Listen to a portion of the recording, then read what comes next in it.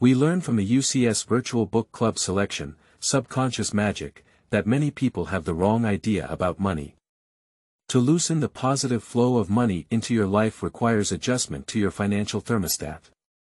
The required adjustment needed to build a spiritual connection with money. It is important for us to understand the truth, that everything has a spiritual aspect to it, even money.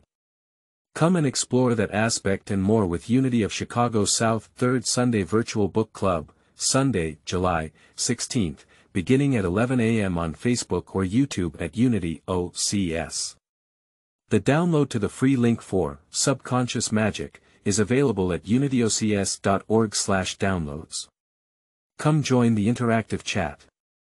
Come explore with the number one online New Thought spiritual community, streaming from Chicago on Facebook and YouTube at Unity OCS, Sunday, July 16th beginning at 11 o'clock.